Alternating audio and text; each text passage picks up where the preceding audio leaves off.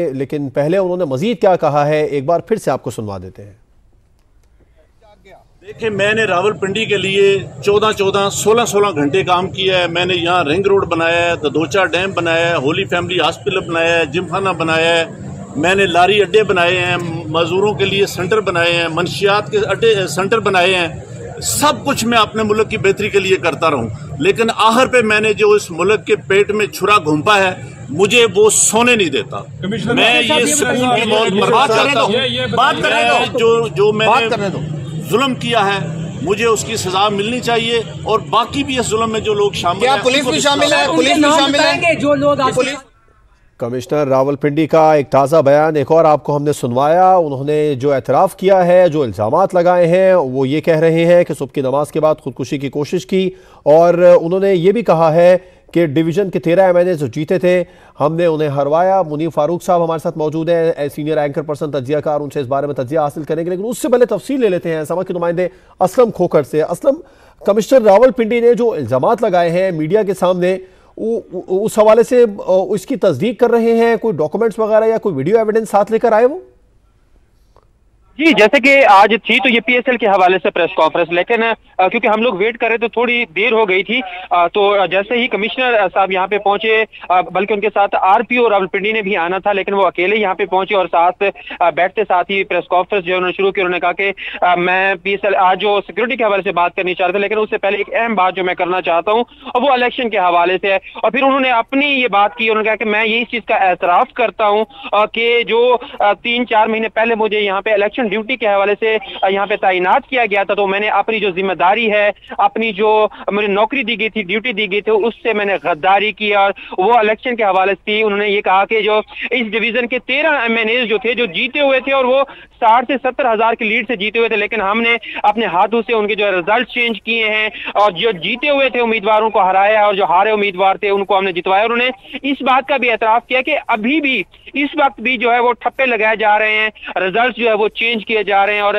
वोटों के हवाले से मजीद जो है वो भी ठप्पे लगाए जा रहे हैं। ये बात की और जब उनसे ये पूछा गया कि आप, ये किसने करवाया? तो उन्होंने ये कहा कि ये जो तमाम सबको पता है कि कौन करवा रहा है उन्होंने ये कहा कि ये जो इस पे मैंने गद्दारी की है तो इसकी वजह से मैं सो नहीं पा रहा था, मुझे रात को चैन नहीं था। तो मैं एक दफ़ा खुदकुशी करने की कोशिश की आज सुबह, लेकिन उन्होंने कहा कि फिर मैंने ये सोचा कि मैं ऐसे क्यों मरूं?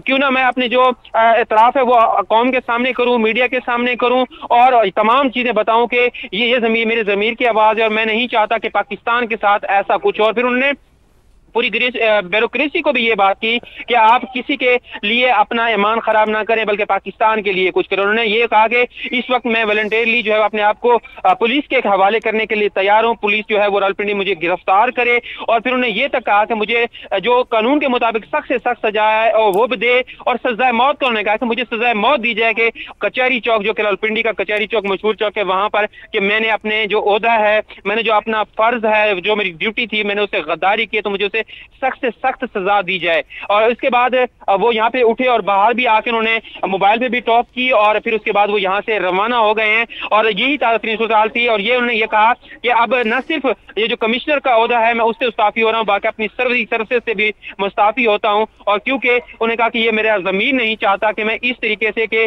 जो पाकिस्तान के लिए बेहतर नहीं था, वो मैंने किया, पाकिस्तान के लिए मैंने गलत किया, पाकिस्तान की जो पीठ है उसमें छुरा घोपा तो उस वजह से मैं जमीर की आवाज़ पे जो है आज मुस्ताफी भी होता हूँ और आपने आपको पुलिस के हवाले और कानून के हवाले करता हूँ कि मेरे साथ जो है वो कानून के मुताबिक सख्त से सख्त जो है वो सजा दी जाए असलम आ- आपको यहाँ पर रोकेंगे आपसे तफसीत भी लेंगे।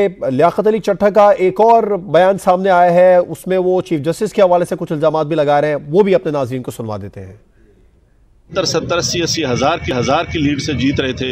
हमने उनको हरवाया है और उनके ऊपर जाली मोहरे लगा के सबको हरवाया कमिश्नर साहब जब जाली मोहरे लग रही थी उस वक्त आपने किसी से कहा कि सब कुछ हो रहा है गलत हो रहा है इसको रोका जाए? देखिए मैं ये सारी इस गलत कारी की ज़िम्मेदारी अपने ऊपर ले रहा हूँ और साथ आपको बता रहा हूँ कि जो चीफ इलेक्शन कमिश्नर है जो चीफ जस्टिस है वो भी इस काम में पूरे शरीक कमिश्नर साहब आपका बहुत बड़ा कमिश्नर साहब इतना सब कुछ जो हुआ आखिर किसके कहने पे होता रहा? आप क्यों प्रेशर किसने ऐसा किया? मेरे ऊपर कोई दबाव नहीं है। मेरे बाप दादा भी अंग्रेज़ों के खिलाफ और सिखों के खिलाफ जंगें करते रहे हैं लड़ते रहे हैं ये मुल्क बनाने के लिए।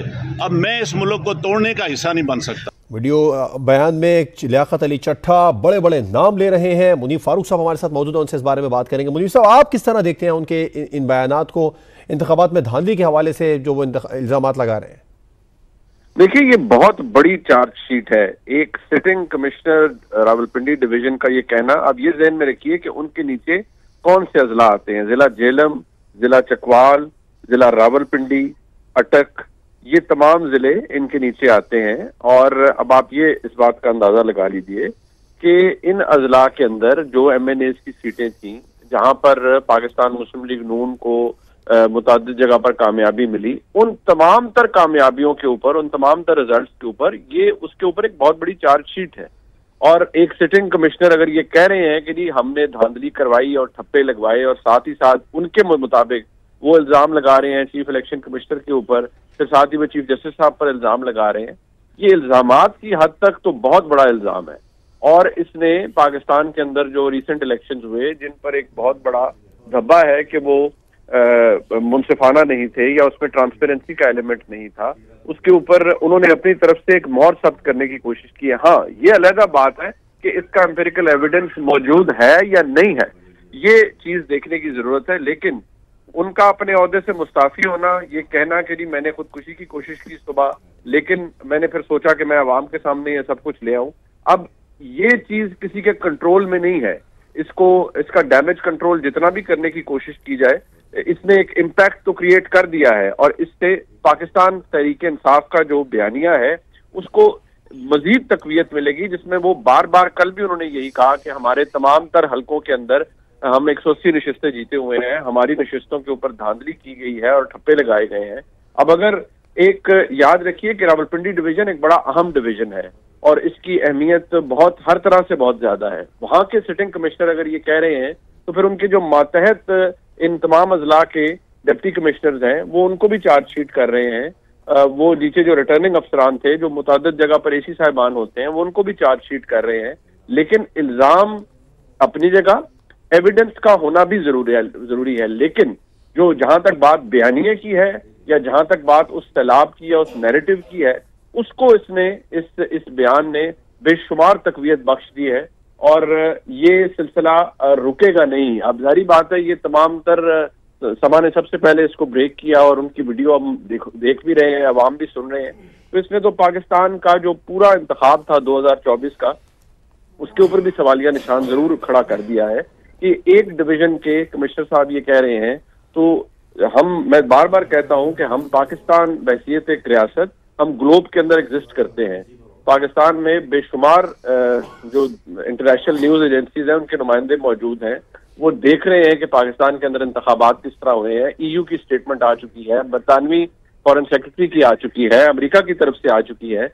यकीनी तौर पर यहाँ से इस तरह का एक बयान आना और एक जिम्मेदार अफसर का, ये नहीं कि किसी लो लेवल अफसर का जो कमिश्नर का अहदा है, वो ग्रेड ट्वेंटी का अहदा है और पाकिस्तान एडमिनिस्ट्रेटिव सर्विस से इनका ताल्लुक होता है इन अफसरान का। ये बात बात की है कि इनके पास एविडेंस है या नहीं है। इन्होंने किसी की प्रोवोकेशन पे ये किया, किसी और वजह से ये सब कुछ किया। लेकिन जो तूफ़ान इस स्टेटमेंट के बाद बर्पा होगा, मेरे ख्याल में वो इतनी जल्दी थमेगा नहीं। और पाकिस्तान तहरीक इंसाफ का जो बयानिया है, उस पर एक बहुत बड़ी मोहर सब्त की है इन कमिश्नर साहब जो लियाकत अली चट्ठा है इनके बयान में। Senior anchor person Talat Hussain साहब भी हमारे साथ मौजूद हैं। तलत साहब, आप किस तरह देखते हैं लियात अली चट्टा साहब के इस बयान को? कहाँ तक गूंज जाएगी इस बयान की? बहुत बड़ा ये किसी हल्के